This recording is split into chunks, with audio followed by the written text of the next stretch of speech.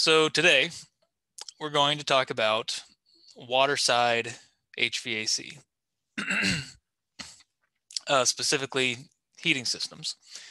So far, we've been looking at the air side part of HVAC, and now we're going to shift into the water side, which is intertwined with what's going on on the air side, but is kind of its own beast. Not all systems in HVAC have a waterside component, but many of them do. And recall, when we're talking about HVAC, virtually every system you look at has some form of heating and some form of cooling. And as a reminder, our typical heating sources that we might see, and we've talked about several of these, electric resistance, natural gas fired, heat pump, which we just had a whole lecture on air source heat pumps, which is all refrigerant based. And a big one that's going to be the focus of today is hot water. So today it's all about water side heating systems.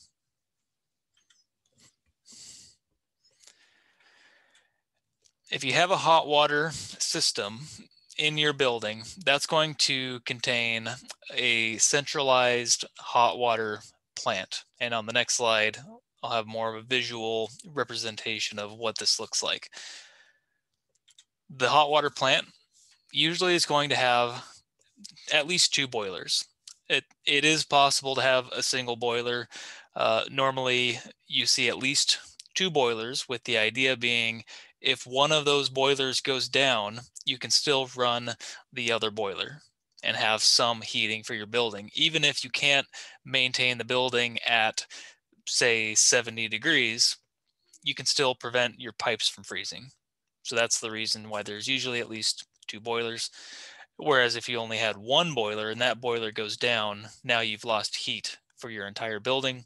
And if that's in the middle of winter, you can be in big trouble. So these two boilers or more, they are producing hot water, typically in the range of 140 to 180 degrees Fahrenheit. The boiler can have all kinds of fuels, natural gas, electric resistance, propane, fuel oil, heat pump, basically all of the typical heating sources we've talked about so far, that could be what's heating the water in your boiler you're going to have a circulation pump or often two circulation pumps for the same reason we talked about having multiple boilers. If one of those pumps goes down, you still have this other pump for redundancy that you can still turn on. And so those pumps, those are going to pump the hot water from the boilers and send it out into the system out into the building to actually heat the building. And then heat energy is going to get pulled out of the hot water through hot water coil hot water coils at our air handlers and then delivered to an airstream and then sent out into the space. And then the water, which is going to be a bit colder. So I mentioned we're sending it out at 140 to 180 it's going to come back a bit colder, say 110 to 160. It's going to come back to the central plant where the boiler can heat it up again and then send it back out into the building. So visually, this is essentially what that looks like. So we have our boiler or boilers, usually more than one, where we're taking cold-ish. It's it's still warm water, but um, when it's coming back, it's it's colder than when it's leaving. So we're taking coldish water from the system on this side, and then it's going to heat it up within the boiler and then send it back out into the system. So our hot water supply, again, is in that 140 to 180 degrees Fahrenheit. That's what we are sending out into the building. That triangle with a circle around it, that's the common symbol for a pump. And the direction of the triangle is telling you the flow direction. so our water is getting pumped out of the boiler and sent out down into the system. And that's the device that's going to move the hot water through the building loop. Within our air handlers, we have our hot water coils, which we'll take a closer look at here in a moment. But the hot water coils, that's what we are running our hot water through, which is going to heat up our supply air before we send it out into the space. So we're sending hot water through these solid red lines. we're losing some of that heat energy to heat up the airstream. And then in the dashed lines, it's coming back a little bit colder from every single one of these coils. And so our hot water return will be 20 to 30 degrees lower than whatever our supply is. So if we are supplying at 180 degrees and it's coming back at say 150, well, that's still not cold water. So we'll, we'll say it's relatively cold just in relation to the supply. And that's the basics of a hot water system. So in this case, I'm only showing three air handling units with three heating coils. A typical hot water system would have dozens of coils, maybe even you know 100 heating coils out there throughout the building with hot water supply and return piping distributed to all of that equipment. But all of that would come back to a central plant where you have your boilers and your pumps that serve the entire building. This is what a typical hot water coil will look like. So we have copper piping. That's what our hot water is running through. And you can see there's multiple passes going through here. You can't really see it on the inside of the coil, but you can kind of think about the pipe coming in, taking a turn at the end here, coming back, and it just takes what's called a serpentine path, just back and forth, back and forth until it leaves the coil. And then running vertically within this coil, and this is where the air is actually getting pushed through the coil in the air handling unit, you're going to have a number of aluminum fins to facilitate that heat transfer. So those fins are, they're all uh, fused to the copper pipe. And really that just gives you more surface area to help heat transfer. We're going to send in our hot water supply on one of these stubs. So our hot water supply is coming in, nice hot temperature. We're going to blow some cold air into one side of the coil and it's going to leave as hot air on the other side. And then our hot water return is going to come out the other stub colder than when it came in. Quick side note, talking about steam systems. So, so far we've been talking about hot water, but uh, I want to have a brief aside to talk about steam. Older systems often operate with a steam system instead of hot water. Fundamentally, it's the same process, same principle.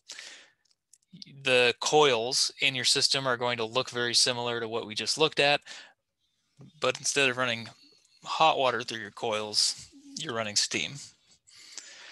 Now, steam systems aren't that common when we're talking about new construction.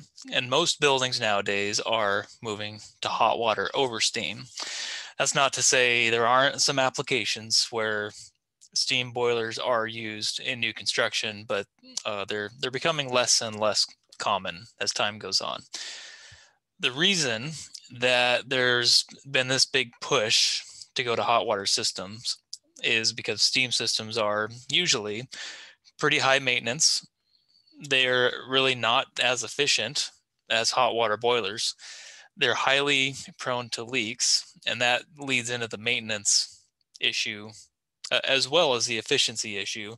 The more leaks you have in your system, the less efficient your system is going to be. And there are some potential safety concerns with having pressurized steam.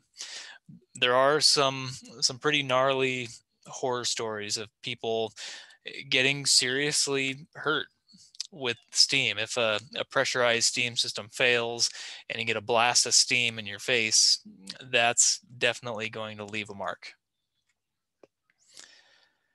One difference though with steam systems is that they do not require a pump, which means you don't have to maintain a pump and there's also no energy use with that pump. In a steam system, the boiler just creates the steam and then that steam just naturally fills the pipes just by nature of how when you turn that steam, uh, well, it's it's a gas. So when you create that, it's going to fill whatever volume it can, which is going to be the pipes in the system. When we're talking about hot water systems, I've been throwing around this term boiler, which really isn't quite the right term if we're talking about a hot water system because a hot water boiler actually isn't boiling the water. If we're only heating that up to 180 degrees, that is not boiling. You know, you'd have to get that up to 212 degrees to hit that boiling point. But this term boiler stuck around from the steam days like I said, a hot water system fundamentally operates on the same principles as a steam boiler. It's just using lower temperature hot water instead of uh, superheated steam, and the term just kind of stuck, even if it's not really a right term. A more accurate term would probably be a hot water heater, but then that makes you think of a domestic hot water heater. So maybe that's another reason why they didn't want to use that term. This course, mainly today, this lecture specifically, will mainly be focusing on hot water systems, but just be aware of steam systems that are out there and how they work. And this is a potential HVAC upgrade. I've been involved on many projects where we've gone in and a customer has an old steam system and they want to convert the system to hot water. So let's talk about heat transfer. The driving equation for water side heat transfer is this, and that's Q in BTUs per hour equals 500 times GPM times the delta T of the water. GPM being gallons per minute. So that is referring to the water flow that's moving through our hot water system. The delta T, that's going to be the temperature difference of the water coming in versus the water coming out. So if you were to look at a hot water coil, you have some hot water going in and some colder water coming out. That'll be your delta T. Or you could be looking at the boiler. If you wanted to look at the entire system and you're focusing on the central boiler, if you know the flow through the boiler and you know the temperature in and the temperature out, you can solve for Q in BTU per hour. This equation has the same derivation as the air side heat transfer equation, which is that 1.08 times CFM times delta T that you should be fairly familiar with at this point. Fundamentally, it's derived the same way for this water side equation, except now we're dealing with the density of water and we are basing our mass on gallons per minute instead of cubic feet per minute. So if you walk through all those steps, you come to this multiplier of about 500 rather than the 1.08 uh, when we're talking about air side heat transfer. So a quick example, if we have a hot water coil that we're heating some airstream, so let's say through that coil, we are moving 15 gallons per minute. It's coming in at 180 degrees Fahrenheit and it's leaving at 160 degrees Fahrenheit. So we have a 20 degree temperature change. And the question is, what's the heat transfer for this coil. If we run through that equation we just talked about, 500 times 15 times 180 minus 160, we find out that this coil is transferring 150,000 BTUs per hour. So that is what is being transferred from the coil into the airstream. So now we know that 150,000 BTUs per hour is leaving the water and entering the air. And now we can take that info and now revisit our air side equations. So let's say our airflow going through this coil is 4,000 cubic feet per minute, and it's entering the coil at 55 degrees Fahrenheit. And we want to know what is the leaving air temperature. So 55 degree air coming in, how warm is it going to be on the other side? So let's go to back to our heat, uh, excuse me, back to our air side heating equation of 1.08 times CFM times delta T. And we know the Q is 150,000. That's what left our water and entered the air. We know our CFM and we know our entering air temperature, but we can solve for our leaving air temperature. So if you run through that, you find out the air is going to come out at around 90 degrees Fahrenheit. And let's say this system is served by a hot water boiler with a 75% boiler efficiency. And we might want to know what's the required gas input because that's what we pay for from our utility company. 150,000 BTUs per hour divided by our 75% efficiency. Now our boiler input that we're paying for is 200,000 BTUs per hour.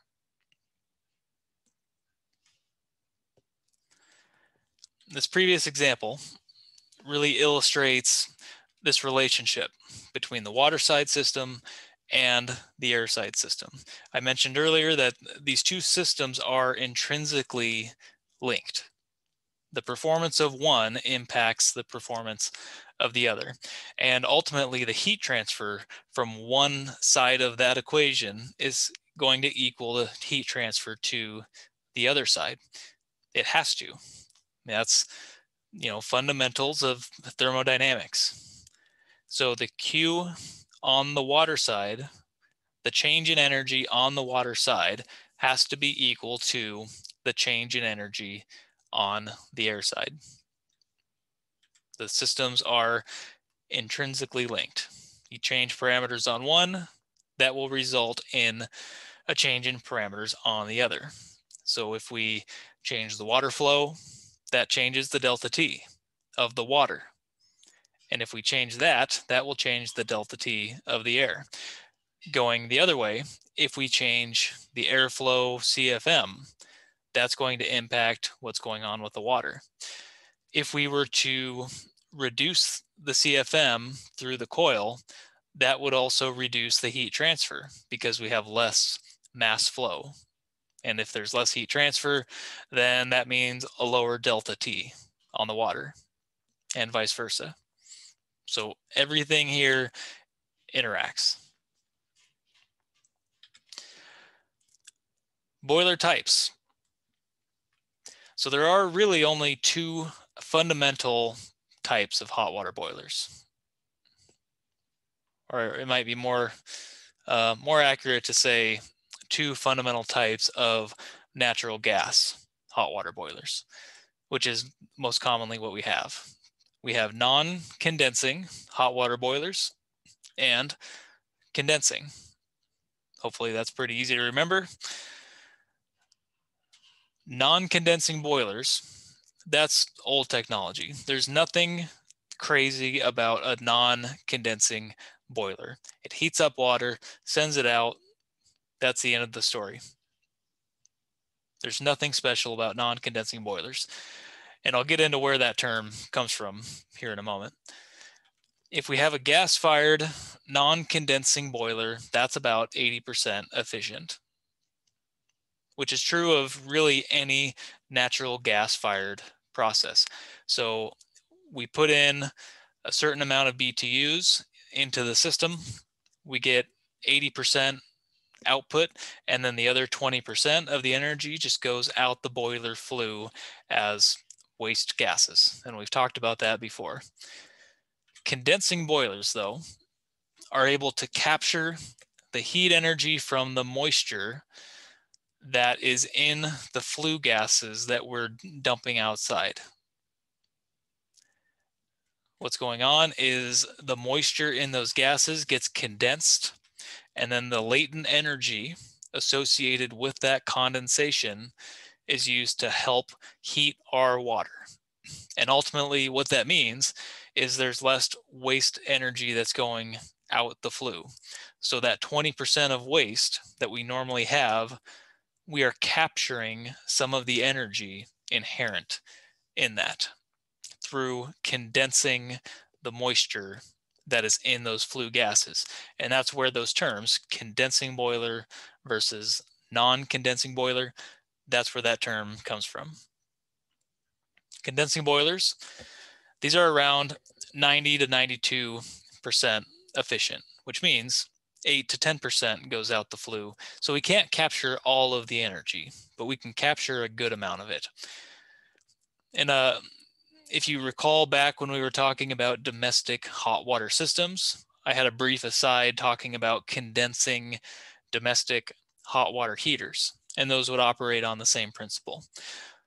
So that's a lot of words, but let's see what that actually looks like.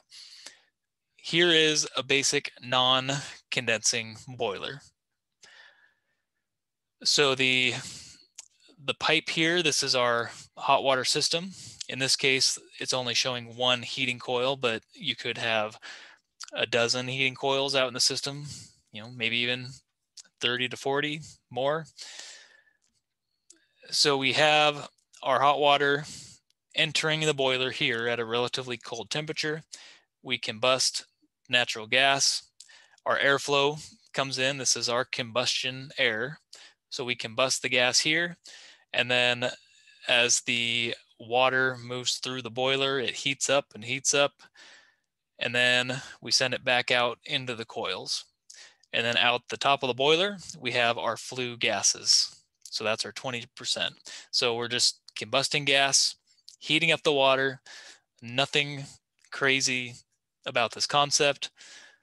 And then 20% of that goes out the flue. So that's a non-condensing bare bones boiler. A condensing boiler has kind of a similar setup, but there is an important difference here. So we are still sending hot water out of the boiler right here and out into our heating coils, however many we have, and then it's coming back into our boiler right here.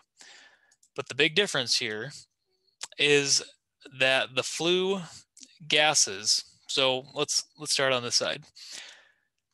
We have our combustion air coming in, we're combusting it, we're heating up the water, but then this waste gas, instead of going straight out the top like it was in the non-condensing application, we're sending that through what is essentially a secondary chamber. So we're sending those flue gases through this secondary chamber. And we are running our cold hot water through that secondary chamber. And what happens is if our hot water temperature, return temperature going into the boiler is below the dew point of these gases, it will condense water.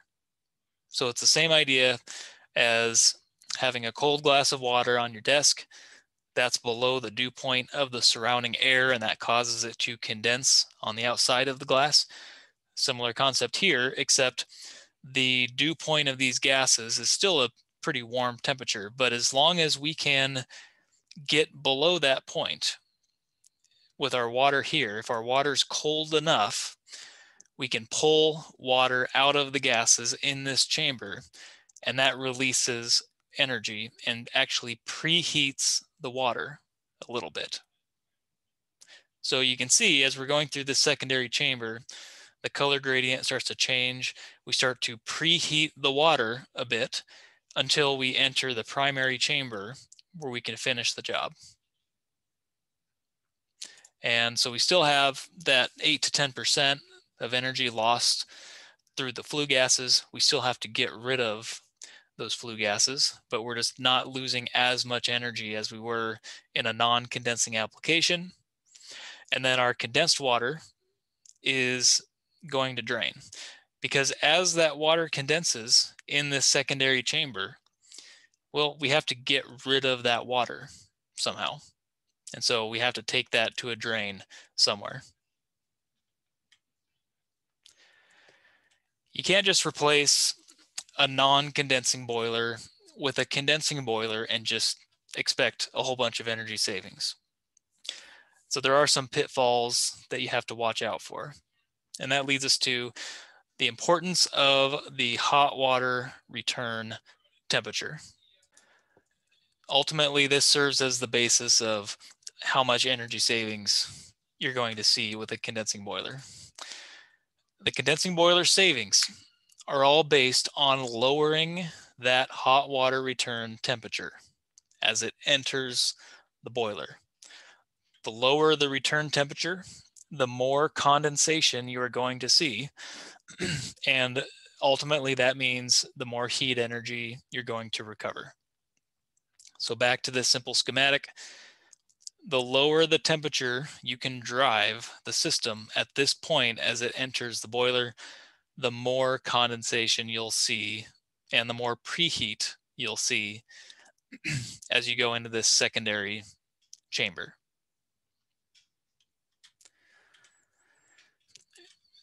And this kind of shows where those efficiency gains start. So if we look at these axes, we have boiler efficiency on the Y, inlet water temperature on the X axis. And this inlet water temperature, that is our hot water return because that is what is entering the boiler. And you can see if we have really hot, really hot, hot water coming into the boiler, this boiler is actually still pretty efficient at about, you know, 84%.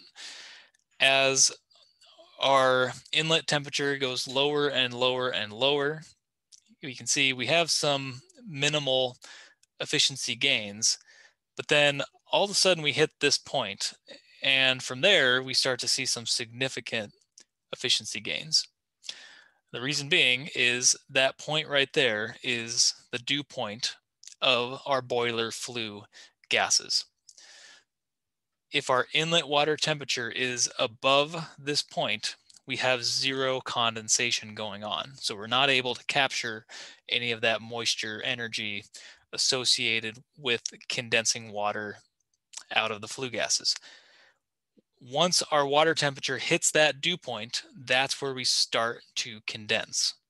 And that's why you see this big jump right here. And as we get colder and colder and colder, you can see we're able to capture more and more of that energy. So it's all about hitting that dew point, which is right around 130 degrees. It's still warm, um, but that's much colder than a typical hot water system, which would normally be in like the 160 to 180 range. So a condensing boiler system has to operate at lower temperatures. But if we're going to drive our hot water return temperature down, we also need to drive the hot water supply down. We can't just force the system to produce a colder hot water return temperature. It's only going to be driven by how much energy is getting pulled out of the system at the coils. And we can't just force that to, uh, to decrease. We have to correspondingly also drop the supply air temperature down. Effectively, we're reducing the average operating temperature of the system, which will have a corresponding reduction in the return temperature. But if our heating coils in the system, if they're all sized based on this 180 degree hot water temperature, you can't just drive the system down to 140 degrees and expect to heat the building the same as before. If you reduce the temperature of the system, you're going to reduce how much heat transfer you can get out of it. All of those coils were expecting and designed around 180 degrees. And now if we reduce it to say 140, that will reduce the heating capacity. And now that can become a problem on those really cold days. Maybe the system can't keep up. If we're going to fully realize our condensing boiler savings, you might need to replace all the heating coils in the system and design for a lower hot water supply temperature.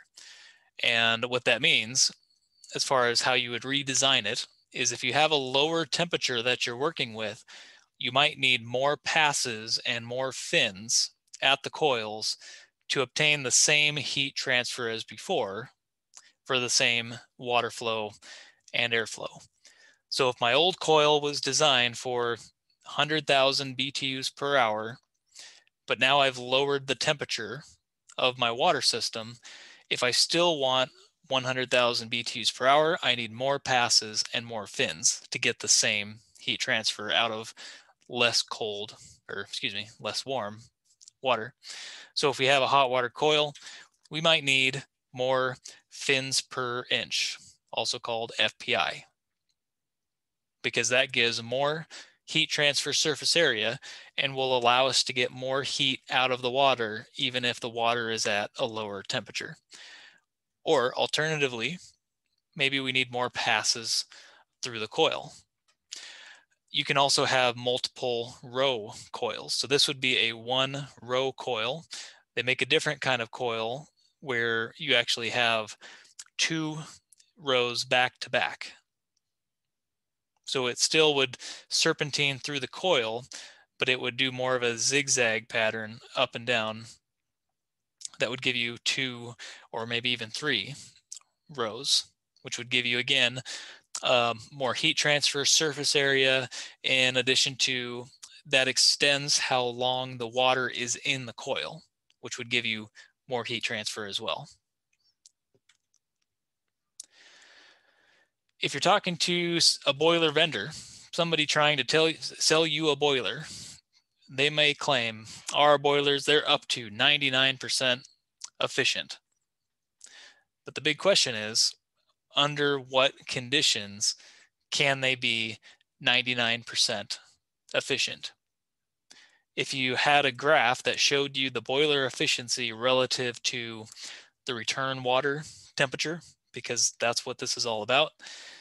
If you needed 50 degree hot water return temperature to achieve 99% efficiency at your boiler, you can't heat a building with water that that's cold that uh, the if you're returning at 50 degrees, your supply is probably um, say 80 degrees. It's really hard to heat a building with 80 degree water. So yes, it may be up to 99% efficient, but it may be under conditions which just don't make sense for your building and application. So just recall, if we're driving down the return temperature, that also means we have to drive down the supply. So if our return's at 50, our supply is also going to be relatively low and probably too low to reasonably heat our building. Typical design temperatures for a condensing boiler are about 140 degree supply and 110 degree return. But this can vary a bit um, but that's that's pretty common, and it's not unreasonable to heat a building with 140 degree supply water.